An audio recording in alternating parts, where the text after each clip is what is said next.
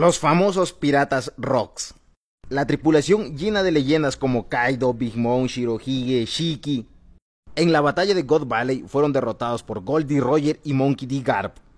Y a causa de la derrota, todos sus integrantes decidieron tomar su propio camino. Y de ahí nacieron los Yonkos Kaido, Big Mom y Shirohige. Otros prefirieron ocultarse, desaparecer y otros pasaron a mejor vida. Pero justamente es de su capitán del que no sabemos un carajo. ¿Se lo cafetearon o qué carajo le pasó? Y ahora cada cuanto Oda te presenta a un nuevo integrante de los Pirata Rocks. A la larga Oda nos va a tener que decir qué carajo le pasó a Sebek. Si es que no lo trae de vuelta. Y no nos sale con que él estuvo atrás de todo, todo fue planeado por él, él es el que dirige a Kurohige.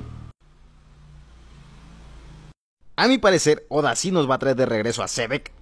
Claro, pues, si no, ¿para qué nos lo mencionó? Y pues hasta se cumpla la teoría de que él es el padre de Shanks.